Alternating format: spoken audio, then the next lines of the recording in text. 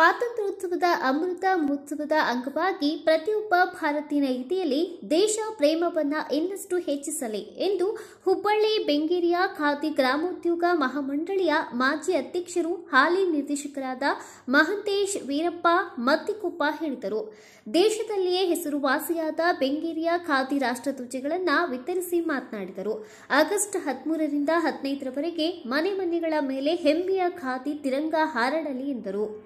ಕೇಂದ್ರ ಬಸವ ಸಮಿತಿಯ ಕಾರ್ಯಕಾರಿ ಸಮಿತಿ ಸದಸ್ಯರು ಕರ್ನಾಟಕ ರಾಜ್ಯ ವಿಜ್ಞಾನ ಪರಿಷತ್ತಿನ ಬೆಳಗಾವಿ ಜಿಲ್ಲಾ ಅಧ್ಯಕ್ಷರಾದ ಮೋಹನ್ ಬಸನಗೌಡ ಪಾಟೀಲ್ ಮಾತನಾಡಿ, ಸಾವಿರದ ಒಂಬೈನೂರ ಐವತ್ತೇಳರ ನವೆಂಬರ್ ಒಂದರಂದು ಬೆಂಗೇರಿಯಲ್ಲಿ ಸಂಘ ಸ್ಥಾಪನೆಯಾಯಿತು.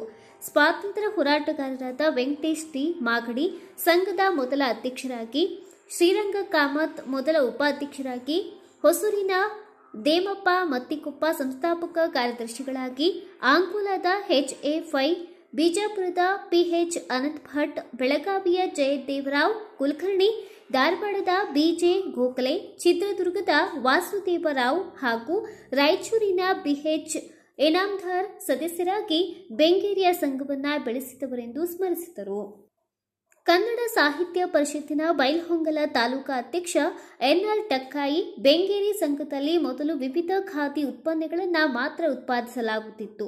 ಎರಡ್ ಸಾವಿರದ ನಾಲ್ಕರಲ್ಲಿ ಬಿಎಸ್ ಪಾಟೀಲ್ ಅವರು ಅಧ್ಯಕ್ಷರಾಗಿದ್ದಾಗ ರಾಷ್ಟ್ರಧ್ವಜ ತಯಾರಿಸುವ ಯೋಚನೆ ಮಾಡಿ ಬಿಐಎಸ್ನಿಂದ ಎರಡ್ ಸಾವಿರದ ಆರರಲ್ಲಿ ಅನುಮತಿ ಪಡೆದುಕೊಂಡು ಅಂದಿನಿಂದ ಇಲ್ಲಿಯವರೆಗೂ ಧ್ವಜಗಳನ್ನು ತಯಾರಿಸಿ ದೇಶಾದ್ಯಂತ ತಲುಪಿಸುತ್ತಿರುವ ಬೆಂಗೇರಿ ಸಂಘದ ಕಾರ್ಯ ಶ್ಲಾಘನೀಯವಾದದ್ದೆಂದು ಪ್ರಶಂಸೆ ವ್ಯಕ್ತಪಡಿಸಿದರು.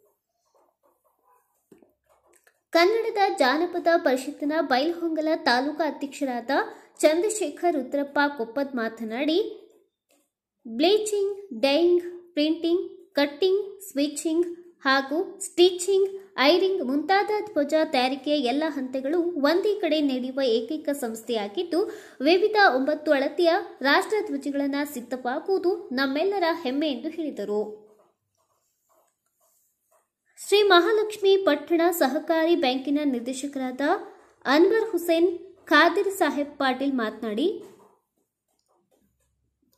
ಬೆಂಗೇರಿಯ ಖಾದಿ ಮಹಾಮಂಡಳಿಯ ಅಭಿವೃದ್ಧಿಯಲ್ಲಿ ವೆಂಕಟೇಶ್ ಮಾಗಡಿ ಹಾಗೂ ಹೊಸೂರಿನ ದೇಮಪ್ಪ ಮತ್ತಿಕೊಪ್ಪ ಅವರ ಸೇವೆ ಅಪಾರವಾದದ್ದೆಂದು ಹೇಳಿದರು.